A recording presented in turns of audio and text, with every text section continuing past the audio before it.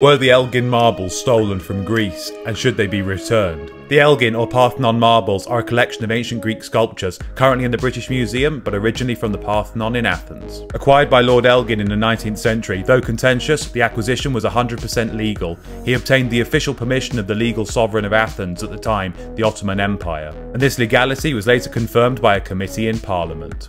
Many people have damaged the temple over the centuries, but what critics of the British Museum like to ignore is often that damage was done by Greeks themselves. In the 6th century, when converting the temple into a church, Athenians ripped out the great statue of Athena Parthenos, which was later lost or destroyed. They systematically hacked off features on sculptures on the north, east, and west sides of the complex, in what historian Dominic Selwood describes as the biggest single event of sculptural destruction in the temple's long history. Had Elgin not taken the marbles, they likely would have suffered a similar fate to those left behind, eaten away by pollution or damaged by disastrous Greek attempts at restoration. What do you think? Are the marbles stolen? Comment below.